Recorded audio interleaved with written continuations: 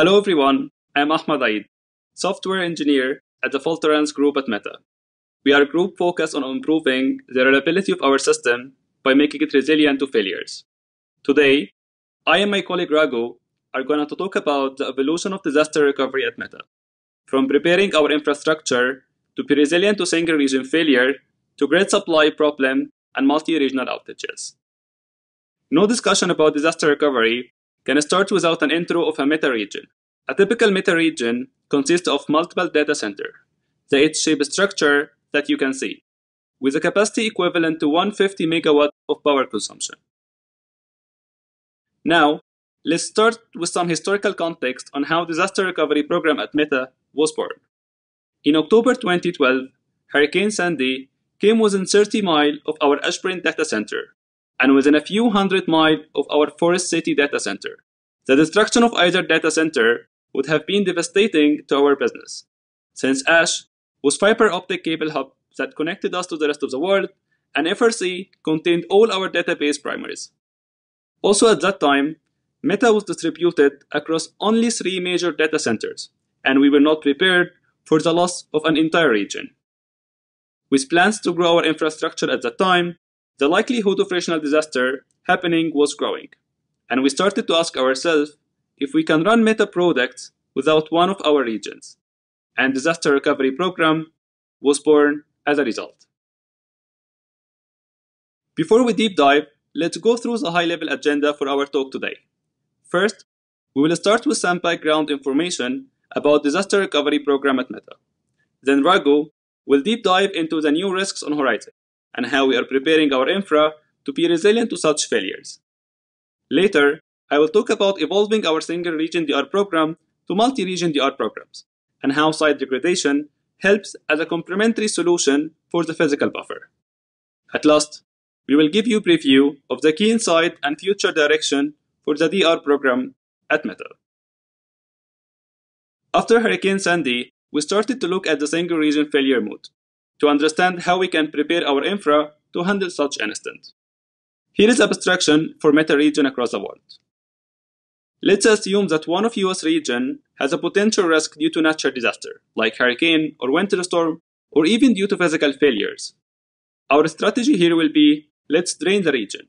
Drain the region means let's evacuate the database primaries outside the region and reroute the traffic to the other healthy regions. This might not be straightforward if other regions are already consuming all the available capacity, so moving more demand to the other region may cause overload to them. In addition to that, this wouldn't work if we don't have the global replication for our databases to make sure we have the right data available even if one of our regions is down. To make our infrastructure resilient to single region failures and to make sure there is no user impact during such an incident, we as a company decided to add extra capacity or buffer, which makes the healthy region have enough resources to absorb the traffic from the faulty region without any overload risks. We call this the DR buffer. And we work closely with capacity planning team to make sure that services have the minimal capacity needed to survive single region failures. With this as current state, all the healthy region are running and consuming our DR buffer. DR storms are disaster readiness exercises where we isolate a production region to validate the end-to-end readiness for the single region failures. All of this happens in production environment while being transparent to users. And we have been running zero notice single region DR storms in production environment for the last few years. All the work we did here to prepare our infra to handle single region failure helped us significantly to improve our instant response during disaster when we had to disconnect the region to isolate it. Our story to handle single region failure didn't end here, since we started to observe new risks like grid failure impacting our data centers and putting them at risk of load shedding. Let me hand it over to Raghu to deep dive into power risks and how we are preparing our infra to handle such failures. Thank you, Ahmed. I'm Raghavendra Prabhu, a software engineer in the fault tolerance group at Meta. As Ahmed was mentioning, while we had achieved complete confidence in our readiness against loss of one region over the years, we noticed a new risk on the horizon. This pertained to the electrical grid related risk for our data centers. While we were prepared to lose one region in terms of sheer raw capacity, we were not prepared for this particular mode of failure in terms of impact on the recovery of services as well as the data center itself. Let's look into one such risk encountered. All of this started in the winter of 2022 with a curious case of a DC incident. One of our critical European data centers was at risk of load shedding, also known as demand curtailment from our grid provider. In the worst case, we were looking at uncontrolled power loss of the data center. The risk spanned over an unbounded period of time, lasting over peak consumption hours each day and potentially over multiple weeks. Complete regional shutdown had not been exercised or tested in our disaster readiness exercises in the past. We had a limited time to prepare and exercise this, and thus we had entered an uncharted territory. In terms of deciding factors, the key ones were number one, response window. Now, this relates to the window of response that was available to us once notified by the grid provider, which was a matter of few hours or mere minutes. Today, we are talking about the case where response window was in the order of a few hours due to presence of generators in addition to rack battery units. Number two, state transition. We had only exercised DR buffers, as Ahmed mentioned, with network disconnection in the past. Never in the history of disaster recovery had we ever shut down a fully functioning production region. Now, this entailed transitioning a large DC region, serving user traffic, live streams, undergoing several maintenances and upgrades, and exchanging several terabits per second of inter-region traffic to a complete standstill. Imagine that. This mammoth feat was not exercised in the past. And finally, recovery time. Recovery time here refers to the time it takes to restore a power down region back to its former glory once the power supply has been restored. This recovery window is critical. Why? Because it needs to be deterministic, repeatable, and well bounded. Without actually exercising the shutdown and recovery completely, this recovery window was unknown. And to make matters worse, we could not even rule out a full rebuild of the data center in the worst case without testing it. Now, to prepare for this, in terms of understanding the recovery and guaranteeing a well bounded recovery duration, we decided to exercise this scenario as a new DR storm. This is where DR power storms were born. Power storm is a mammoth disaster readiness exercise where a typical production region is brought to a complete stop, one where all services and servers are gracefully transitioned to a power down state and observed for a few hours and finally recovered again. A typical power storm has three stages. First is isolating the region, which involves cordoning a region off by moving inter-region and user traffic away from it through VIPs. Critical state transfer in the form of replica rebuilds and database primary promotions also take place here. Second, graceful shutdown, where all data plane services are shut down gracefully and reaped through an asynchronous mechanism in our data center.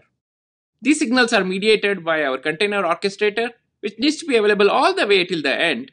Subsequently, all servers are shut down remotely and the region is brought to an absolute zero state where nothing is running in the region. We leave the region in this state for a few hours.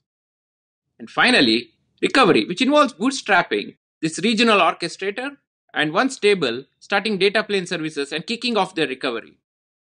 Recovery involves warming up of various caches, replication catch-up, and any other full or incremental state transfers.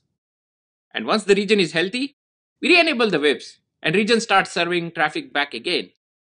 It's important to note, while this can be tested in a small or a test region, exercising in production at scale is key once sufficient confidence has been achieved. Since our first power storm in 2022, we have executed multiple full-scale power storms. No discussion of DR exercise is complete without discussion of dragons encountered while entering this new, uncharted territory. Let's discuss one. During our storm, we encountered an issue arising out of interactions between regional orchestrator and data plane, which complicated and delayed the recovery process. It started when this regional orchestrator shut down and reaped the data plane services through this asynchronous signaling mechanism described earlier. Unfortunately, the signal led to the orchestrator also being unavailable due to its critical dependencies being reaped and shut down. Now, at this point, we were left with roughly 50% of these zombie, so called zombie data plane services, which were still running and not reaped by this orchestrator. And finally, to remediate this, the orchestrator itself could not be jump started since it was dependent on itself to restore. A non standard complicated recovery process was required to remediate this subsequently. Which brings us to the key lesson. Pay attention, pay very close attention to your critical dependencies in a fast changing, dynamic environment. In other words, ensure a clear delineation between regional control plane and data plane and ensure any critical dependencies between them are avoided in the shutdown and recovery paths. Finally, for fast changing environments such as ours, tracking dependencies in the CI CD stages through frameworks such as BellJar has also helped. Now, it doesn't end there. While we were looking at these grid related issues in Europe, our infrastructure spanning multiple continents was simultaneously at risk from other sources too. This was even more evident in the winter of 2022 when multiple other risk factors were prevalent at the same time. Let me hand over to Ahmed to take it from here and talk about this further. Thanks, Raghu. Over the last few years, we started to observe overlap of multiple events that might impact our region simultaneously. As an example, in the winter of 2022, as Raghu mentioned, we encountered electrical grid related risks in Europe, which put our EU region at risk of load shedding. In parallel to that, winter storm and hurricane risks in United States, which enveloped a large region in mainland US. There was also scope of software failures, bringing down a region while another region was already impacted by the previous risks. What's common to all of this is the fact that Meta was at risk of losing more than one region simultaneously. This is what we call as multi-regional outages, and we started to work on multi-regional disaster recovery program to prepare our infra be resilient to such failures. Now, let's start with some background information about the problem then we will discuss the risks and our strategy to handle such failures. To define the problem, multi-regional outages are large-scale outages, where more than one region is impacted. We will focus today about MRDR events where two regions are impacted. And as our infrastructure grows, the likelihood of multi-regional outages increase, and we anticipate to see such failure happening more often. The diagram here shows the mean and median for the time between two region failures are getting smaller, which mean that we anticipate MRDR events to happen more often in the upcoming few years. Risks of MRDR are still similar to the risks we encountered while working on a single region DR program. Overload, since demand can exceed supply, leading to melting down our infrastructure. Demand here refer to the user traffic on our family of apps, and supply refer to our serving capacity, which cover only single region failures. Data unavailability, since we store the data replicated across or with majority quorum. So losing two or more region can lead to data unavailability if we don't have the right data replication and placement. Today, we will deep dive into our strategy to mitigate overload risks during MRDR and hopefully we can discuss our strategy for data unavailability in the upcoming at-scale presentations. With this as current state for our infrastructure, after we had to disconnect one of the US region due to hurricane risks, all the healthy region are running and consuming all the available capacity. With ongoing risks of load shedding in Europe, draining the EU region is not an option since all the healthy region are running and consuming all the DR buffer. We started to ask ourselves, shall we add more capacity as we did in single region failure? But there were, were multiple challenges for this approach. MRDR events can go beyond two region down, so adding more capacity is not scalable solution. Supply chain and capacity crunch problem is another challenge, and getting capacity will take time given meta infrastructure scale. Based on that, we have decided to change our buffer-based DR strategy to site degradation based DR strategy, where every service in our infra will degrade themselves gracefully to tolerate the demand and survive the MRDR events. This is a clear trade off between throwing capacity and degrading our product during MRDR. And site degradation strategy works well for two region failures, and we are iterating on it to minimize the impact on users during such events. Back to our map here. After we apply site degradation technique like service level degradation, request shedding, or delaying the non-critical request or jobs, will free up some capacity that can be used as a complementary solution for the DR physical buffer. Now, we can start draining the EU region with confidence that other regions have enough resources to consume the extra demand without any overload risks. Key takeaway here is site degradation can be used as a complementary scalable solution for the physical buffer to prevent overload during MRDR events. The question now is how Meta degrades the entire infrastructure. Unified site degradation is the answer. Unified site degradation is a portfolio of solution to degrade the service gracefully or non-gracefully, to reduce the demand instantly when the demand exceeds our ability to serve it. And we do have multiple degradations technique, like DEFCON, which is a service level degradations where we turn off the non-critical feature to reclaim some capacity to serve our core functionality. Request shedding solution to control the demand across our infra as a last line of defense to prevent cascading failures. Or delaying the execution for the non-critical request or jobs to reclaim some capacity during disasters. Please refer to the last year talk in the reliability at scale for more details about DEFCON and unified site degradation techniques. Now, let's talk about validation, which is really important for any disaster response tool to make sure it's ready to be used when needed. We rely on two validations technique to reason about our infra readiness to handle MRDR. Validation through testing, where we do execute protection tests to measure the capacity saving from the different degradations technique. In addition to that, we also execute failure-based tests tailored to the failure scenario.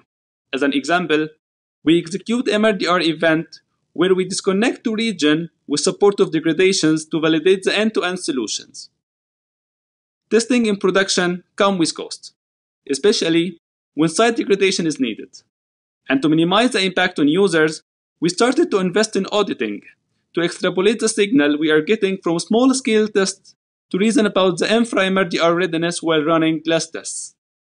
This was our story to evolve our DR program at Meta from handling single region failure to new risks on horizon, like power and multi-regional outages. With that, I will hand it over back to Raghu to present our key insight for our talk today and the future work for the disaster recovery program at Meta. Thank you again, Ahmed. Having discussed evolution of disaster recovery, spanning power storms, overload readiness, and unified site degradation, let's summarize the key insights and note what lies ahead of us in this constantly evolving space. In terms of key insights, let's start with adaptability. When it comes to disaster readiness, be prepared to pivot fast when a new risk arises. Adaptability is key.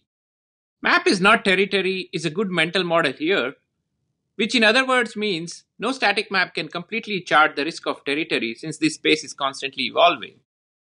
Second, make sure to test your data centers and for key fault domains through a complete life cycle. Only by exercising and recovering successfully at scale can sufficient confidence towards large scale risks be achieved. Third, degradation is a critical strategy in DR. In other words, degradation is critical in DR failure scenarios as a complementary solution to prevent site overload. Don't be afraid to degrade your entire infra during disasters, especially given the current state of supply chain and capacity crunch problems. Finally, auditing is key for end to end infra validation, which means Although testing service degradation in production is critical and helps us immensely in gaining confidence for emergency scenarios, auditing is equally important to extrapolate these signals and help reason about the MRDR readiness for the entire infrastructure. Next, let's look at what lies ahead of the DR team in this space. And also to echo what Ahmed mentioned earlier, keep an eye out for presentations relating to these in future at scale conferences. In this talk, we focused on situations where a region is shut down with a buffer of few hours. This is only one side of the coin. Looking forward, we are also exploring and exercising recovery from scenarios where a region may lose power near instantaneously. Window of response in such cases is in the order of seconds to minutes based on battery capacity. Only the most critical of state transfers, such as primary promotions, can be performed here. Hence, understanding trade offs and prioritizing response strategies is of utmost importance here. Lack of explicit control over shutdown and a very short window of time associated with it introduces significant stress on the systems at scale and also a high risk of overload. Hence, this is a challenging as well as exciting problem to solve. Second is continuous overload validation, which means over on the overload front, we want to track the MRDR overload readiness for the entire infra on a continuous basis with our bimodal validation strategies of testing and auditing. Now, this also helps ensure that infra is overload resilient by reducing impact on users and businesses as much as possible. With this, the talk comes to a conclusion. We would like to thank all our partners and team members from Meta for making this possible. Please do get in touch with us after the talk for any questions. Thank you very much.